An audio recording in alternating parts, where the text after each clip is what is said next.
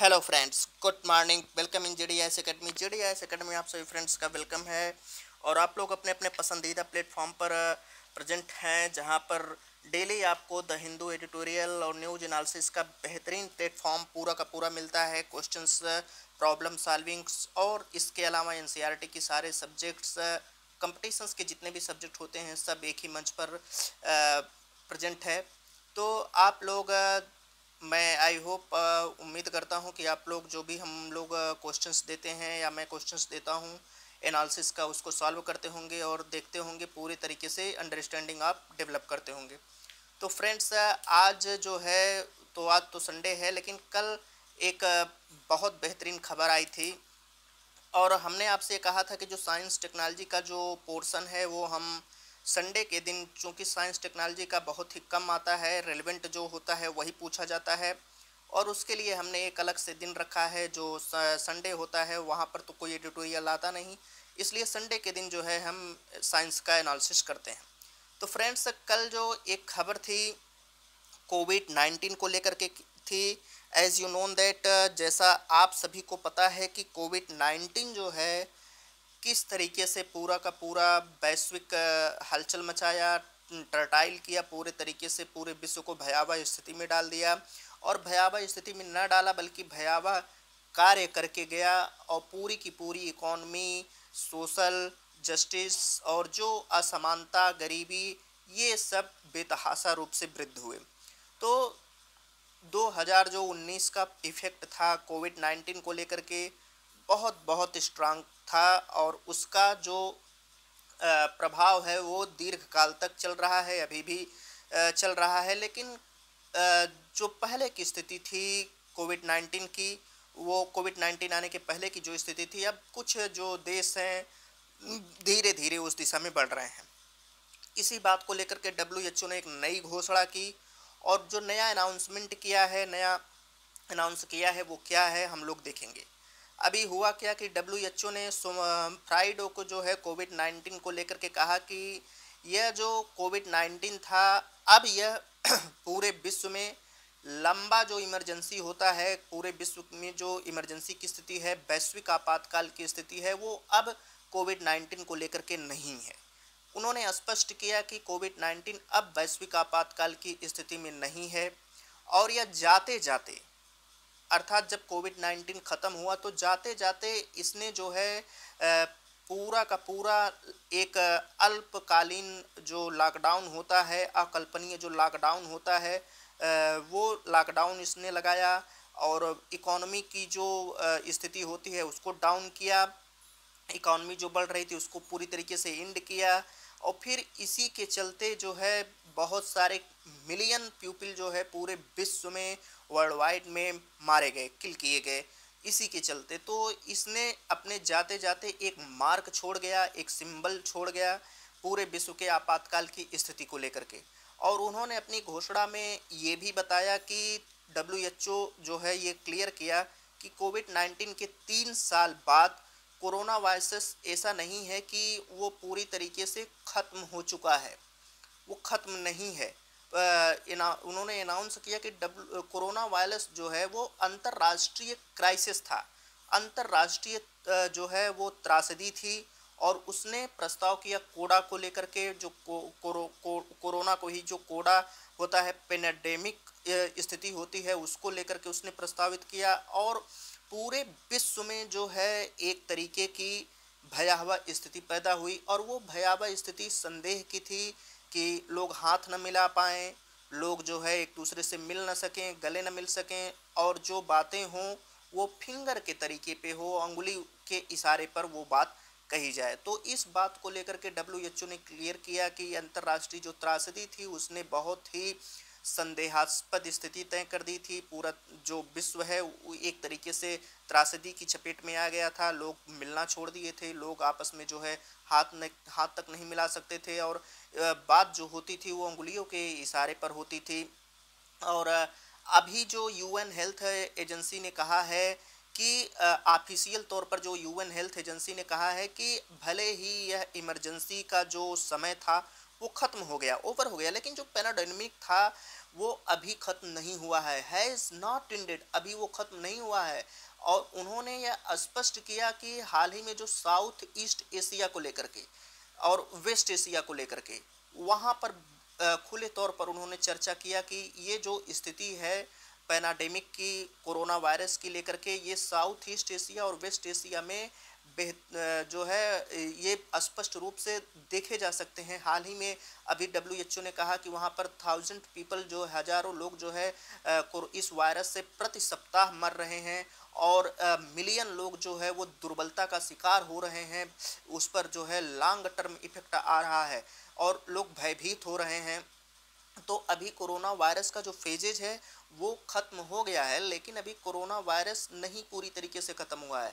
और इसके बाद इन्होंने कोविड नाइन्टीन को लेकर के ये भी कहा कि मैं ग्रेट होप के साथ, यानी कि एक बड़े उम्मीद के साथ यह घोषणा करता हूँ कोविड नाइन्टीन को लेकर के कि the as a global health emergency ये जो कोविड नाइन्टीन है over as a global health emergency अर्थात एक वैश्विक स्वास्थ्य खतरे के रूप में कोविड नाइन्टीन है अभी। और यह अभी ख़त्म नहीं हुआ है। डब्ल्यू एच ओ के जो डायरेक्टर थे जनरल डायरेक्टर थे टेडर्स अधानन वो जो है ये बात कहते हैं कि अभी ये जो कोविड नाइन्टीन है, अभी ये ग्लोबल अभी ये तो मान लीजिए इसका फ़ेज़ खत्म हो गया है, लेकिन अभी ये वैश्विक स्वास्थ्य के खतरे के रूप में उपस्थित है और यह उपस्थित था भी। तो इसका मतलब ये नहीं है कि कोविड नाइन्टीन जो है आगे वो वही बात करते हैं कि कोविड नाइन्टीन जो है वैश्विक समुदाय के रूप में ख़त्म हो गया, अभी ऐसी बात नहीं है, अभी यह मौजूद है। और यह इसकी जो मौजूदगी है, उन्होंने कहा इसकी मौजूदगी को लेकर के जो इसके नए वेरिएंट आ रहे हैं, उस पर हम जो है अपने विशेषज्ञों को बुलाएँगे एक्सपर्ट को बुलाएँगे, और एक्सपर्ट को बुलाने में हम कोई भी हिचकिचाहट नहीं दिखाएँगे। क्यों? क्योंकि इसका जो नया वेरिएंट आ रहा है, जो इसको वैश्विक स्वास्थ्य के खतरे के रूप में देखा जा रहा है ये हमारी पूरी दुनिया को जोखिम में डाल देगा। अगर इसका कोई उचित समाधान नहीं निकाला गया, नहीं रोका गया तो। तो यही बातें उन्होंने की कि अभी इसके जो नए वेरिएंट हैं, उसको रोकने के लिए हम जो है, उसका समाधान निकालने के लिए एक्सपर्ट को पूरे विश्व में जो इसके विशेषज्ञ होंगे, जो हेल्थ डिपार्टमेंट है, वो रिकन्वेंशन होगा। अर्थात कि वो पुनः उस पर जो है, विचार विमर्श किया जाएगा, उस पर एक्शन लिया जाएगा। आगे उन्होंने कहा कि मिस्टर टेटर्स ने कहा कि ये जो पैनाडेमिक था, ये अगर एक साल से ज़्यादा इसका देखा जाए तो ये डाउन तो हुआ है और कई सारे देशों ने यह स्वीकार किया है कि जो कोविड नाइन्टीन के पहले की स्थिति थी, हम उस स्थिति में लौट रहे हैं धीरे धीरे और लौट चुके हैं। तो ये जो है पूरे तरीके से जो कोविड नाइन्टीन का इफ़ेक्ट था ग्लोबल कम्युनिटी को लेकर के वो कहते हैं कि इसने केवल कोविड नाइन्टीन जब तक आया एक डेढ़ साल तक जितने भी दिन तक रहा, इसने पूरा का पूरा उद्योग अर्थव्यवस्था जो थी, भारी नुकसान पहुँचाया। बहुत तीव्र तरीके से इसने उसका विनाश कर दिया सेटर्ड कर दिया, पूरा बिखेर दिया, पूरी की पूरी इकोनॉमी को ध्वस्त कर दिया। और इसके बाद मिस इन्फॉर्मेशन की वजह से जो है जो राजनीतिक विभाजन होता है, वह फैल गया। जैसे मिस इन्फॉर्मेशन की इस देश में कुछ अलग तरीके से हो रहा है और गवर्नमेंट जो है, वो अलग कार्य कर रही है। गवर्नमेंट उसको टेकअप नहीं कर पा रही है। गवर्नमेंट कुछ गलत प्रसारित कर रही है। तो ये जो मिस अंडरस्टैंडिंग होती है मिस इन्फॉर्मेशन दी जाती है उसकी वजह से पॉलिटिकल जो डिवीज़न होता है, जो राजनीतिक विभाजन होता है बहुत तीव्र गति से विस्तारित हुआ। और इसमें जो मिलियंस पीपल्स हैं, वो पावर्टी में चले गए, गरीबी रेखा में चले गए। तो इसने जो है बहुत भयावह तरीके से पूरे वर्ल्ड पर अपना इफ़ेक्ट जो है वो डाला। फिर ये पॉलिटिकल फॉल आउट करते हैं कि इतना तक ही नहीं इसने रुका। कहने का मतलब है कि कोविड नाइन्टीन यहीं पर नहीं रुका।